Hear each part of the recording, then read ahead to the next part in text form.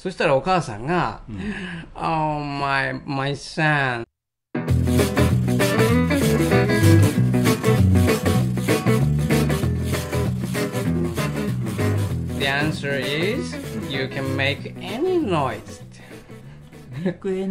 そう、You can make any noise. そう、あなたはあどんなあのノイズってあのノイズってこううるさい音うるさい音あるじゃないですかうるさく言えってことですかうるさくてもいいんだけど、うん、そううるさく言えって意味でしょうね。ただの音を出す時でも You can make any noise だからどんな音でも出していいよっていう。ノイズっていう意味にはうるさいっていう意味もあるうるさいって意味もあるし、あのまあかすかなノイズでもありますからね。ああそうかそうかノイズって別にあの大きい小さいはないから。サウンドは使わないんですか？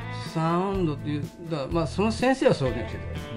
なもんで、ああそう？って言って、うん。そうじゃああー I'm here って言ってもいいし、somebody's in って言ってもいいし、using って言ってもいいし、そんなそんなようなことじゃあ。で、それが回答だったんです。だから別に何でもいいんですって。なんか、I'm here にしよう俺。I'm here でもいいよ。うん。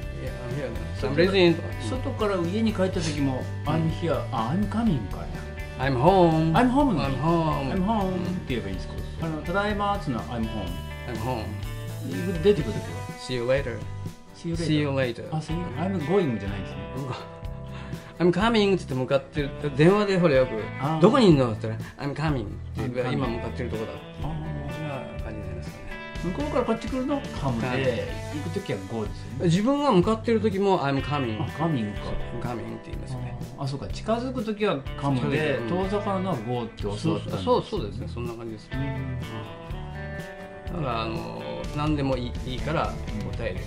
それがあの私の教えてくれた先生の答えだった。だから本当は静止に何というかっていうのはないんじゃないですか。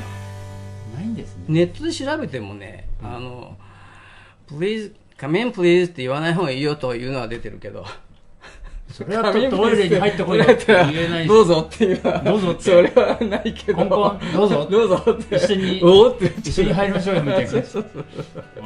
うん、それはないですけどね。それはないね。うん、だけどさっき言ったね、ジェンダーフリーって言って、そのこれからは皆さんあの外外国行くチャンス多いと思うんで、もう私なんかあのじいちゃんだからあんまり行かないけど、うんうん、これから国際化になってくるとそういうふうにだからノックしたら女性の声で返答されたとかね。あるいは逆にあの誰かがノックしたらな何しろ何か答えればいいんだけども男女の区別がなくなってきてますから、そこはあのえ？間違ったとこ入っちゃったのかなっていうふうには思わない最近のスーパーね男女の印が両方ついてるトイレあるね、あありますね、おうあれは大きい広いああの新商社みたいなトイレだはったりするとそうですね。あついてたりしまですそうん。だってヤジ TV も男女一緒です。そこにジェンダーなんとかって書いてくるんですか？だから gender neu- neutral policy。neutral policy。gender neutral policy あうん。そう書けばいいやあるいはジェンダーニュートラルバスあレストランあ I see I see.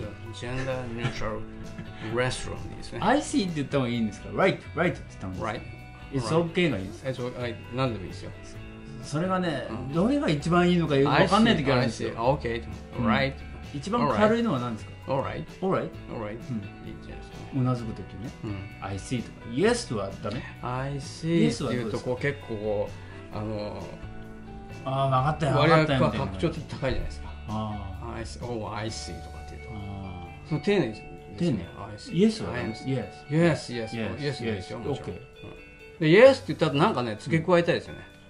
あそうなんですか？Yeah, that's right, I think so とかね。あ I don't 丁 think. 寧ってことそうそうそうそう。いやいやまあ Yes の後 I don't think はないけど。あ。It's まあ okay は It's okay It's, it's okay. もう OK うん。あですよね。ーよよくね外まあフィリピンの先生はうん Right Right って言う Right. それとかふんふんって言うんですよあうんふんとかって言うでしょ。うんうんふん。うんふん。うんふんはよく使いますよね。うんんでねうん。僕す全然こう相づちなんて言ったら最初分かんなくって、もう先生の真似して「うんふん」って言うようになったら、うんなんか会話してる感じがするんですよね。そうそう。うんふんっていうだけでふんね。ふんって言うと、うんもうなんか分かり合えた感じがそうそうそうそう。